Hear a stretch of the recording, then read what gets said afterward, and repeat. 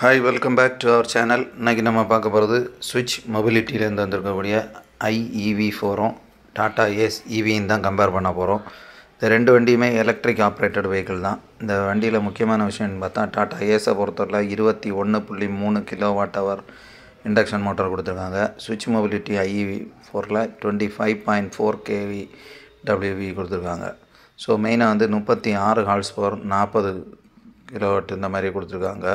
So இந்த வண்டிகளை பொறுத்தவரை இப்போ சுவிட்ச் மொபிலிட்டி வந்து கொஞ்சம் அதிகமாக இருக்குது. டார்க்கும் அதே மாதிரி தான். டாட்டாவில் வந்து நூற்றி முப்பது நியூட்டன் மீட்டர் கொடுத்துருக்காங்க.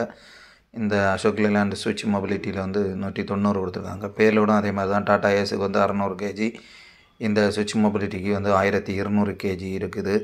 ஸோ இதில் வந்து லோடிங் கெப்பாசிட்டிலாம் கொஞ்சம் அதிகமாக இருக்குது ஏன்னா இது கொஞ்சம் பெரிய வண்டியாக தான் இருக்குது.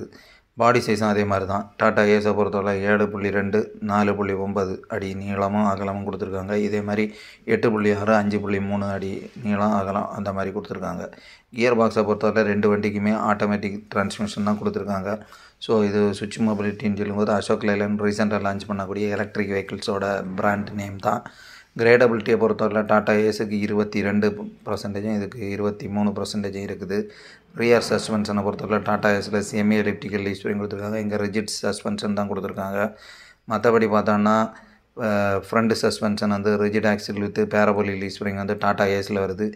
இந்த சுவிட்ச் மொபிலிட்டியில் ரிஜிட் சஸ்பென்ஷன் வருது. பேரபோலிக் சஸ்பென்ஷனோட வந்துடுது டயர்ஸ் பார்த்தோன்னா ஆர் தேர்ட்டின் வீல் டாட்டா ஏஸ்லேயும் ஆர் ஃபோர்டீன் எயிட் பிஆர் வந்து சுவிட்ச் மொபிலிட்டிலையும் கொடுத்துருக்காங்க. டயர் சைஸும் கொஞ்சம் பெருசாக இருக்குது.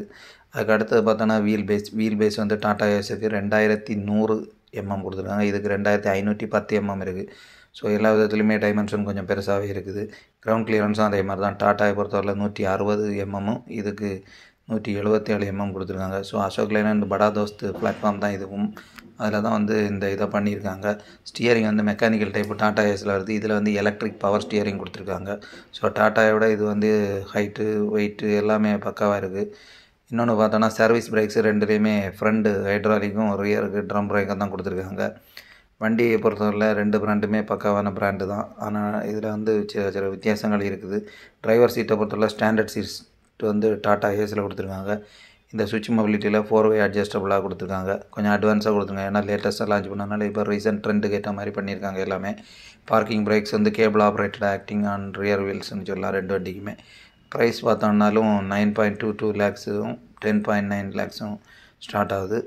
இந்த மற்றபடி பார்த்தோன்னா ரெண்டு வண்டியுமே பெர்ஃபார்மன்ஸ் வைஸ் சூப்பராக தான் இருக்குது ப்ரைஸ் வைஸில் கொஞ்சம் வேரி ஆகுது. அதேமாதிரி ஸ்பெசிஃபிகேஷனும் சேஞ்சஸ் இருக்குது.